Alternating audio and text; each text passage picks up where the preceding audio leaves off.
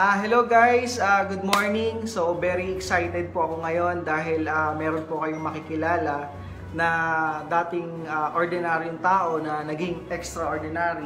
So hindi ko na po papatagalin kasi um, ngayong araw na to, nag-claim po siya ng ah, hindi basta-bastang income and ano, parang wala pa atang isang buwan tong kinita nito. Kasi weekly, nag cash to. So hindi ko na papatagalin, please welcome po natin si Upline Recto Soriano. Yun, hi guys, good morning. Yan po yung cheque ko. So, tinanod Pakita natin. Yan. Yan. So, ano, ah, siguro pa- para mas ma- makilala kanila, um, ano ba yung background mo bago ka nag-join sa InGlobal? Okay po, dati po akong former... Ayan, dati po akong magsasaka, both parents ko magsasaka, so buhay probinsyano po. And last kong work is SM, kaya ginawa ko lang ng paraan. And nakakatuwa po nito, sumubok lang po ako sa In Global, the same time wala din akong pang-join before katulad ninyo.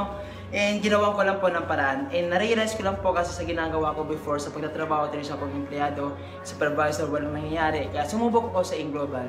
Hindi ko akala sa pagsubok ko na yon isa po ako sa na-bless, gumaling ang parents ko sa high blood, nawala pa ng ate ko, nakapag kapatid ko sa Amataf Computer Engineering, and as of today, I one of the global ambassador ng company. Yes, grabe. and sobrang blessings kasi, nakabili po ako ngayon ng cash na, na sakyang Grabe, oh. pinangarap ko talaga ikas po yun. And pangalawa po, kalalabas na ng cheque ko na 300,000 and kakaingkas ko lang sa ATM ko ng 300 10,000 po yun. And kaya ako po pala chineke to kasi po meron kasi akong bibilhin. Silent millionaire Opo. po eh. And nakakatuwa po nito. Na. Guys, nagsimula lang din po katulad ninyo. Sa mga hindi pa na-join, sumama po kayo. Isa po ako sa pwede makatulong sa Yes. inyo. At wag na po kayo magduda kasi marami na pong taong sumubok at nabagong buhay. Hindi lang po ako.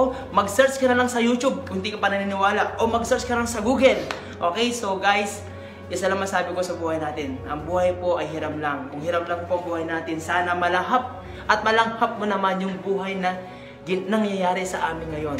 In that note, my Jailing Project at AIM System, good news equals hayahay ang buhay. Yes. Yan, nandito po kayo mga coordinator na pwedeng tumulong po sa inyo. Kasi AIM Global System at Jailing Project System, ang equivalent po niyan, limpak-limpak na cheque. Thank you so much. God bless po. Join na po kayo. Yan, so- life is life. Yan. So, congratulations kasi ah, hindi ordinary tong income na nakuha mo ngayon. Kasi kung i-confirm mo to sa employment, kung em- empleyado ka, kasi ang minimum is nasa 10,000 lang ata. So, 303,000, imagine na, 303,000, sabihin na lang natin, kinita niya na lang to ng one month. Tama. Tama? Kung nagte 10,000 ka isang buwan, i-compute mo to, i-compare mo to, 3 years mo siyang pagtatrabahuhan. Samantalang sa In-Global, ah 300,000 isang buwan niya lang inita. And hindi yun yung nakakabaliw eh. Ang nakakabaliw, ano ba siya dati? Tama. 'Di ba? Isang ah, magsasaka, farmers, probinsyano, nagpunta sa Manila, nangarap, naging empleyado hanggang sa nakilala sa In-Global. Kaya guys, sa makakapanood nitong video na to, ah, kung na-invite ka rito sa In-Global, huwag ka na pong magdalawang isip.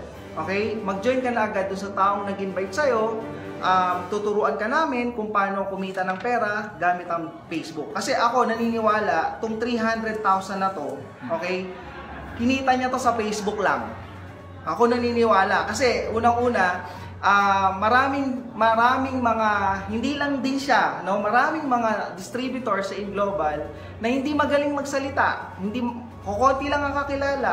Pero dahil sa sistema ng online marketing dito sa Jailing Project, sa Jailing Project, so mas mabilis na po yung nagiging resulta ng bawat isa.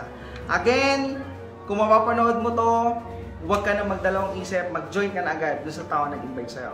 Okay? So yun lang, happy networking, congrats, uh, Upline Recto. Nakaka-inspire, grabe, 300,000. Tapos ngayon, bumili ng cash na kotse, hindi pa na-in cash to. Bye-bye!